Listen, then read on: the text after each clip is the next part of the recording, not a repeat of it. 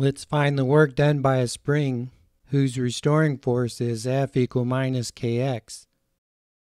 The minus sign means that the force points back toward the equilibrium position, and k is the spring constant.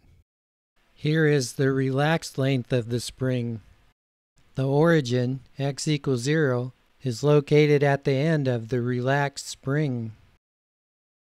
The spring is bolted to this wall, stretched to length xi, and then released. When the spring is released, the restoring force of the spring points leftward in the same direction as the displacement, so the angle between the displacement vector d and the spring's force F is 0 degrees. The work done by the spring in moving from xi to xf is the integration from xi to xf of f dot dx.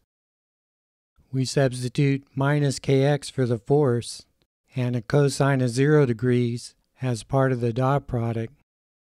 Integration gives minus 1 half kxf squared plus 1 half kxi squared. Or if we write the positive term first, the work is 1 half kxi squared minus 1 half kxf squared. The work done by the spring is positive when the spring has moved toward its equilibrium place. The work done on the spring by an applied force is the negative of the work done by the spring.